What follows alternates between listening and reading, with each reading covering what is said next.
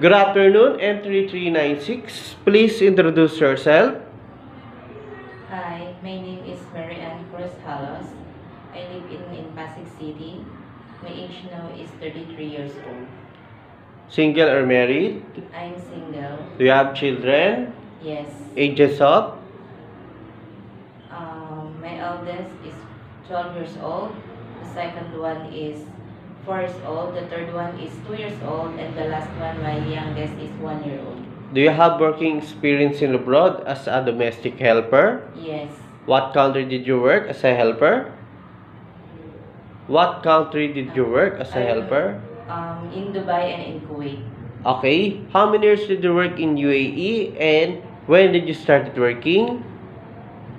Uh, I worked in Dubai last 2012 to 2014 for two years contract and in Kuwait to 2014 to 2016 finished contract also. Okay. What is your main duties and responsibilities in UAE? Um, all around Like? taking care of the kids, um, cleaning the house, cooking, do the household chores. Okay. How many family member in Dubai, UAE? Four, How many adult and how many children? two adult and two children. Okay, what about your experience in Kuwait? Um, what is your main duties and responsibilities in Kuwait? My main duties is taking care of the four kids and cleaning the house. How many family member?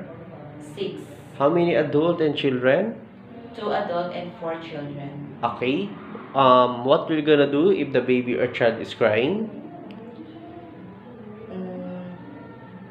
I will ask why why he or she is crying and I will take care of the kids. Okay. Um, how can you put a baby or child to sleep? I will uh, I will sing I will sing her a song. Can you sing it please so that the baby or the child go to sleep? Sleep baby, Okay. Are you afraid of dogs rather pets? Yes or no? Uh no. Are you willing to accept the holiday set up by employer? Yes. Do you eat pork? Yes. Allergic to any kind of food, drugs, or detergent? Are you willing to cut your hair short? Ah yes. Are you willing to share job with other helpers?